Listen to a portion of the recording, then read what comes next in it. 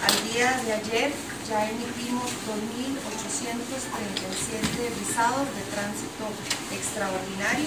Eh, esto coincide con el promedio que habíamos estimado de entre 200 y 250 personas cubanas llegando todos los días por la frontera sur, por la frontera de Panamá. Eh, indicar que el día de hoy vamos a entregar 200 visados eh, que ya están en curso.